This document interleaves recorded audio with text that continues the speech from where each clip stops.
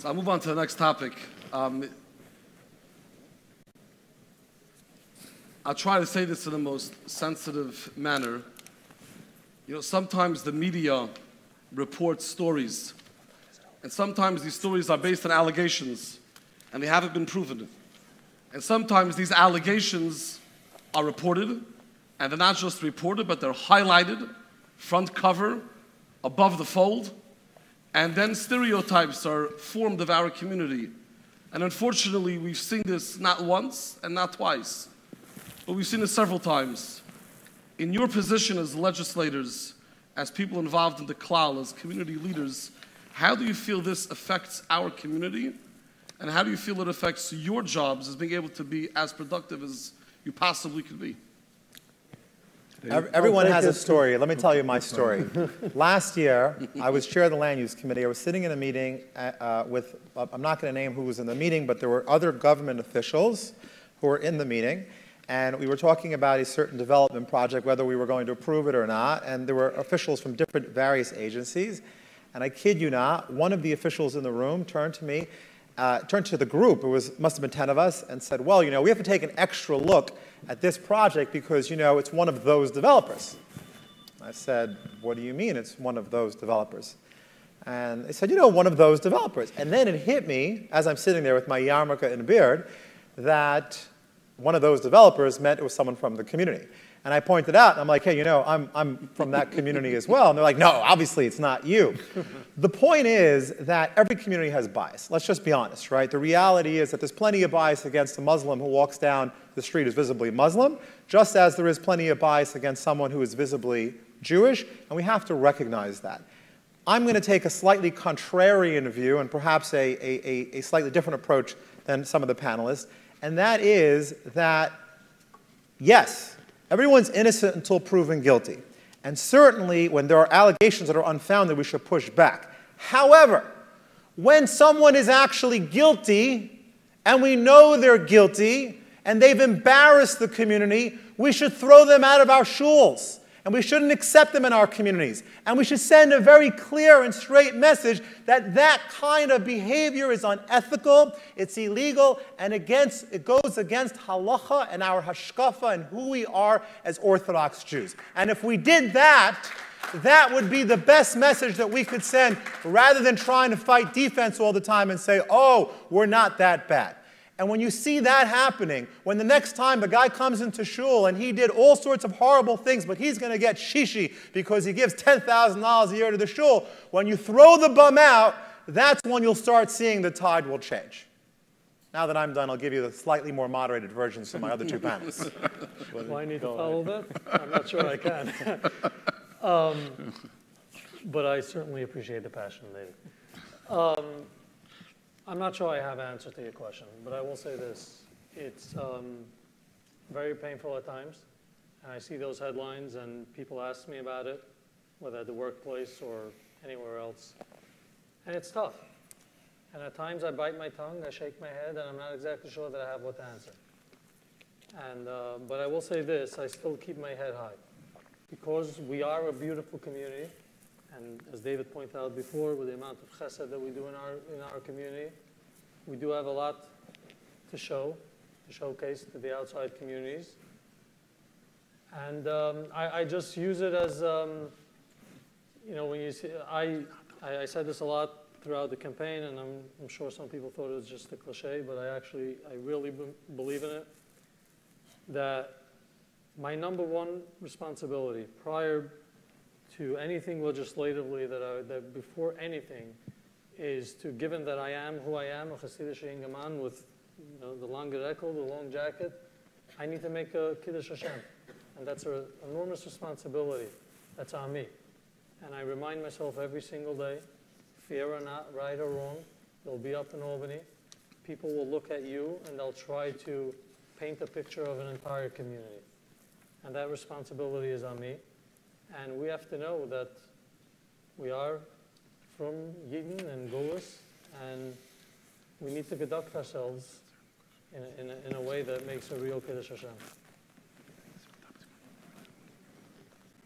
May I? David, I'm going to take a little bit of a different, uh, you said contrarian, so I don't want to make you. Let's do it. I, I, I, I got a few questions for David too, but I'm gonna let you Many go. people here paid a lot of money to come this weekend. At the very least, they should be entertained. So, so, so David, I will say that while I agree with you that um, we, and I guess with what Simcha said, that you have uh, a representation, but at the same time, I think that there are uh, people in the media who enjoy taking what somebody did and painting our entire community based on that person. And it is not correct for us to feed into that. It is not correct for I'm not us disagreeing with that. to, to feed and, and to and to tell the media, oh, you said this and this and this and this and this, and we agree, or we're 100% behind you. There are people that do things wrong. There is a legal system that's in place. There is whatever has to happen has to happen. People get uh, uh, representation. But that doesn't mean that because the media latches onto something or because the media decides that somebody's in this position and, you know, let, let's rile everybody up, I think that's incorrect. You know what? If the media would rile us all up for everything good that we did, if the media would do the same thing and say, wow, here's somebody from the community who did something like this, we think the community should get behind them and say what a great guy is, you know, maybe we could have that part of the conversation. But I think what the question was, was how to interact with what some of the media does and how they, we know that what we call clickbait or what we call selling newspapers is, is a good thing. So, you know, that, that's great. But I certainly, as an elected official, will not feed into that. And just because you're right, you don't want to take somebody who, who has obviously done something wrong, I leave it to a rub, I leave it to a decision that has to be made. But don't feed into the hype that the media creates. That's my position. I don't think that was the question. I think there's two separate points here that could be equally valid, which is there is a media bias against the Frum community.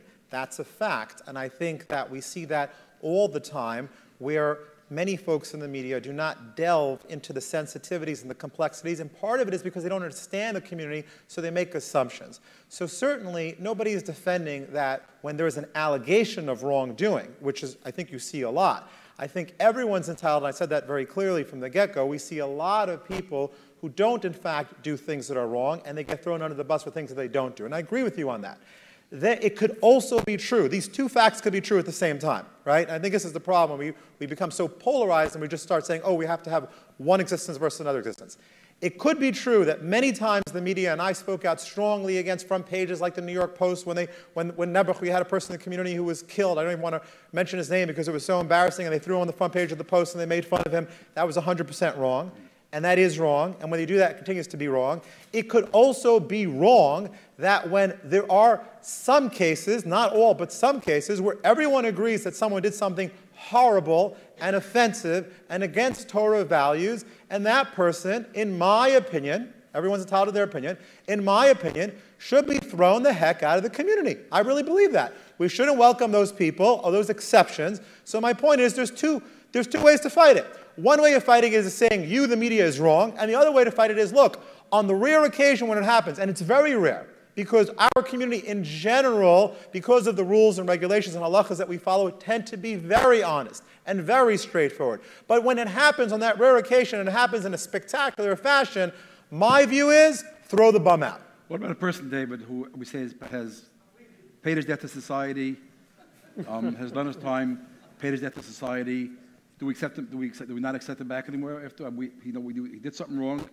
He caused Chil Hashem, but it's Who are we to the? I don't understand what this. Who No, I'm just we- asking the question. Why, How do we- Why am I playing God? You're not. You're not the dying din v'dayin. There's a cheshbon of, of what someone does wrong. Someone did something wrong. He was mechal shem shemayim. Granted. But I think he's saying A if someone, thousand if someone I'm Mechal- saying if that there was are Mechal Shabbos, people- if someone was Mechal shouldn't be- Shabbos, right? We wouldn't let him. We wouldn't That's give him right. Aliyah. Right? No, yes, we would. We'd be mekaravim. That's what this kirov organizations. So who are we to say that this Avery you I don't know. Look, respectfully, and that Avery Avi, I don't know. Avi. I do not know which shul you daven in, but in my shul where I daven in Brooklyn, if you pull up in your Ferrari and park right in front of the no parking zone on Shabbos, you do not get shishi. But there are plenty of people. Let me finish my point. But there are plenty of people who have done all sorts of averas, not a lot, who pull up into a shul and they're getting shishi now just because they have a few bucks and they're bad people. I'm sorry. I think that if we're having an honest conversation in a organization like this, where this is among frum people, and I think the point of the Agudah Convention is that you have the greatest minds and the greatest people get together to have an honest conversation once a year about the challenges of the community. If you're asking me, one of the ways to fix that perception is that when someone is in fact a crook or when someone is in fact a ganiv, or when someone is has in fact done something where he created a massive chil Hashem, where you open up the papers every single day and this guy is in the papers, don't give him an aliyah. Yes, you can quote me on that. I stand by that. Just as how if somebody pulls up in a Ferrari in front of shul on Shabbos, don't give him an aliyah either. They're the same halachas that you're violating, right? You shab, you machal Shabbos for Hesio, we don't give you an aliyah. If you go out there and steal money but for Hesio and say, look at me, I stole money, which people actually say, don't come to my shul. Certainly, I will tell you that when I've seen people like that, true story, I'm not going to name names, I've walked out of the minyan. I will not daven with someone like that. I'm sorry. I mean, look, if someone is, if someone is caught up and uh, in trouble with the law, they will obviously pay a price for it. They're going through the legal system, and there will be consequences. I think the question is on how the media perceives us as a community, how they how they show uh, how they put our every time something happens, a rabbi on the front page. That's terrible. We all agree that's we terrible. We all know. We all know. If I may pick on a, one media outlet, which I usually tell elected officials not to do, for example, in New York, the New York Daily News has a specific reporter focused on the growing Jewish community. So, I mean, we are, the way we are painted in the day-to-day media coverage is what the, I believe that's what the question was. And it's more than that, and I want to take this a step further. About how we treat that individual in shul. You're wrong. Crime, You're wrong. I'll tell you. I'll tell you why I disagree with you. Because in the end of the day, it's not, that feeds into the perception as well. The newspapers are wrong when they paint the community with a brush, for sure. But then you can't turn around when that person gets honored at a dinner and say, oh, we don't agree with this person. If you don't agree with this person, then why did you give him an Ali and why did you honor him at a dinner, right? You have to be intellectually honest. Good is good, bad is bad. And as a community, we are good and we do amazing things. And in fact, we have the lowest crime rate of any community. We have lower people who are engaging in fraud than any community. We have the safest streets of any community. It's proof that, in fact, we have a wonderful community. But when there are exceptions to the rule, my opinion is we should not embrace those people and we should not let them participate in the community like normal citizens, just as how if somebody was Michal Shabbos for Hesia, we would not allow them to participate in similar events. I think the same principle should apply. And the reason I think it relates to the media is because I think the media sees that and they say, are you being honest or are you not being honest? And there are rare exceptions. And it's rare that we have it in the community, but when it happens, we should set a firm line and say, those people do not represent our community, because they don't. I think that, just to add on to this, I, I, I could agree. We could agree. We're making progress. This is we good. Could agree. this is good, yes. To, to, disagree how a community. Oh, we're disagreeing to disagree? How okay. a community. How, we got to the first step. I disagree. How, how, a community should handle, or how a particular Kehillah or Rav Shul should handle this. We know there's a concept of tshuva, there's a uh, concept of kapara, and I don't know if it's in our realm to decide how we should be punishing people that have done whatever they've did. However, on a second point, on a, on a different point, yeah. and this is what I'm trying to bring out the media angle. There's been times, and it unfortunately has happened recently in specific communities. I don't want to go through to, to go through this specific incident I'm referring to, those that know it know it, those that don't will get my picture. There was a group of people involved in what was alleged as a scandal. And it was a very complicated scandal. It had to do with welfare, with benefits. Did they intentionally do it? Did they not intentionally do it? Such a detailed allegation, something that members of the government didn't even know if what they were doing was correct or not correct. And it was plastered on newspapers for months and then six months later, they ran another five day series on this. Is it the job of the community leaders to stand up and say, This newspaper, stop?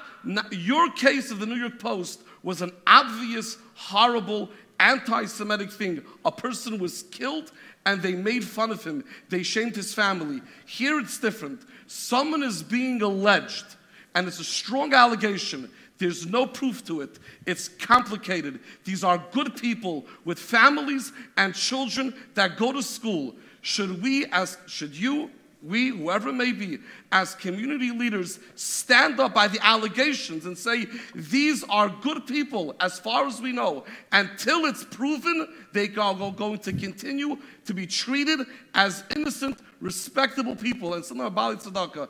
And unfortunately, we, sometimes we don't hear it because maybe politicians are scared to speak up because they don't want to be associated with those that are alleged as criminals. But then again, maybe there's responsibility to the community to say, one second, I'm going to defend these people because they haven't been proven. And if they're proven, maybe I'll go David's route and I'll just throw them out of the shul, or maybe I won't. But at that point of the allegations, when the stereotypes are created, what is your role as community leaders? I think I made what I feel uh, pretty clear before. I think that the media is wrong. I think the media taps into it. And I think that the media enjoys being able to sell newspapers. Some people may call it anti-Semitism. I think that it's good advertising, it's good clickbait, and the more stories, the more time you could uh, put a story with our community on it, knowing that you have an audience that wants to read it, people will look at to sell newspapers, and it's our job to express our feelings about it. Anyway, gentlemen, we could talk on this topic all night, a- and it's been a We good should, one. it's kind of fun. We could, it's kind of fun, but I want to move oh, on. come because on, our come Time on. is a little bit short, so I want to move on to a couple of things. We touched on this before, but I want to kind of dig a little deeper.